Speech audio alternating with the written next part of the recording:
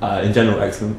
Uh, I've had some really good experiences. In, in, in general, I haven't really got, well, not got a concept when they've explained it to me, which I feel shows the quality of the teaching.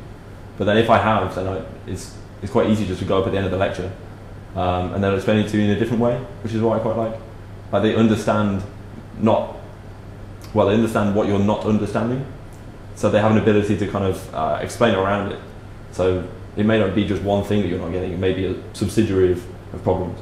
But then they have a, a, a quite good ability to, to kind of explain it around you, which is always good.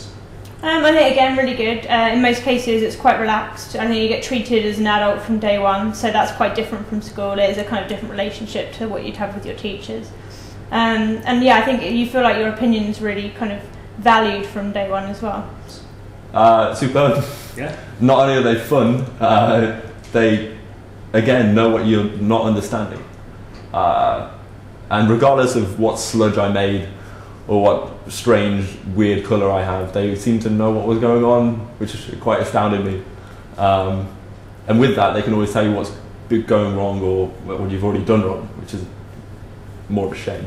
Um, but in general, I thought they were excellent.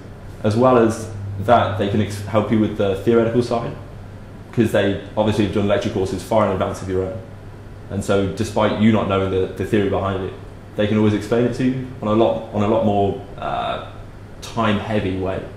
And so it enables you to really get a grasp of what you're doing in the lab, which I think is the point of it really. So.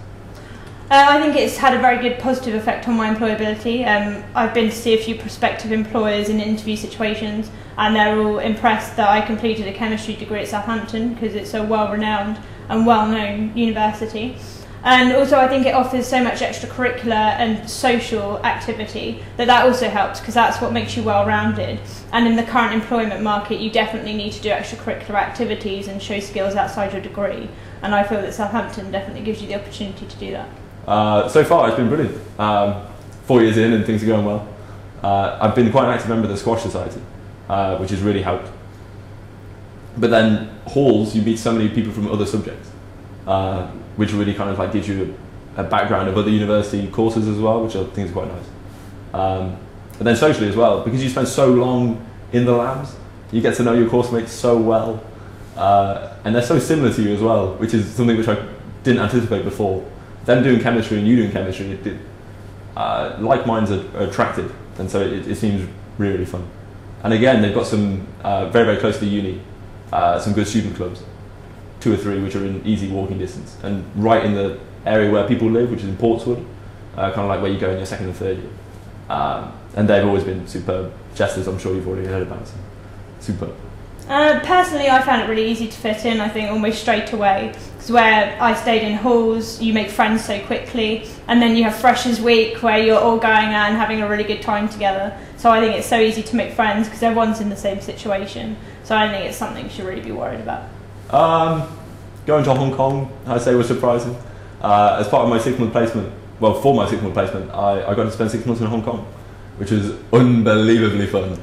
Um, as well as doing quite interesting research there in the university.